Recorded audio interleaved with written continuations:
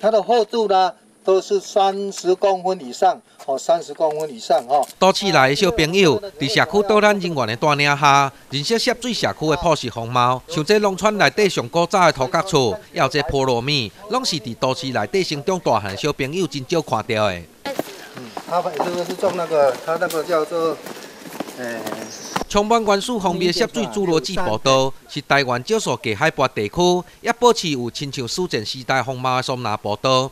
小朋友来到这，除了认识丰富的生态，享受松纳浴，也会当生水。不管是大人还是囡仔，拢感觉非常特别。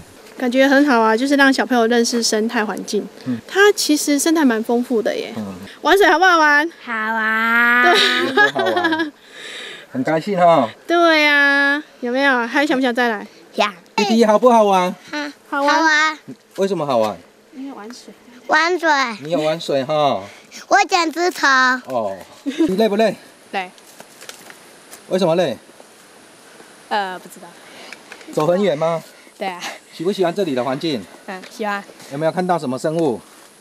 蜻蜓、鱼。有走过这样的路吗？没有。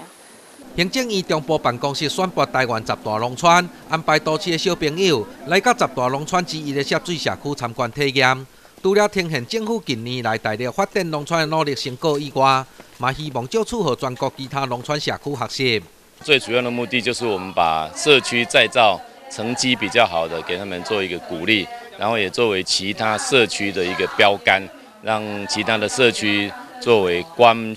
观摩学习的一个对象，这个农村再生想主要三生哈，生产、生活、生态哈，伫咱这个涉水社区也是讲展露无遗哈。啊，咱嘛希望讲，会使透过今日这活动，和咱的来自于都市的小朋友，也能够重视未来、重视生态，啊，更加的了解农村。喜欢还是不喜欢？喜欢啊。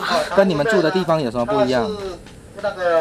很多树，超多树。然后呢？嗯，还有没有很多车？都市内小朋友上直接感受，就是农村社区树啊多，车较少，有这个机会来到参政所在，对因来讲，有另外一种大开眼界特别经验。记者王昭成采访报道。